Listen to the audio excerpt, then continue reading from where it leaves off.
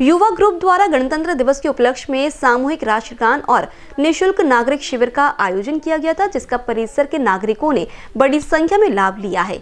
इस शिविर का आयोजन भूपेंद्र बोरकर के मार्गदर्शन में किया गया था। गणतंत्र दिवस के उपलक्ष्य में युवा मोर्चा नागपुर द्वारा रामेश्वरी हनुमान देवस्थान पंच कमेटी मंदिर में 26 जनवरी को सामूहिक राष्ट्रगान का आयोजन किया गया था। साथ ही निशुल्क नागरिक शिविर का आयोजन किया गया था, जिसमें नागरिक शिविर का आयोजन दो दिवसीय था, जिसका लाभ परिसर के कई नागरिकों ने लिया है। युवा ग्रुप मार्फत प्रजासत्ताक दिनानिमित्त हे आमचे दुसरे वर्ष आहे. दरवर्षी हा आम्ही कार्यक्रम घेत राहतो. यावर्षी आम्ही हेल्थ कार्ड नाग, नागरिक कार्ड, श्रमिक कार्ड, आणखी दिव्यांग आणखी पी एम स्वनिधी योजना, अशा भरपूर सरकारी योजना राबवत आहे. निशुल्क सेवा ही मी भारतीय जनता पार्टी उपाध्यक्ष भूपेंद्र बोरकर मज़ा मार्फत हे काम होत आहे.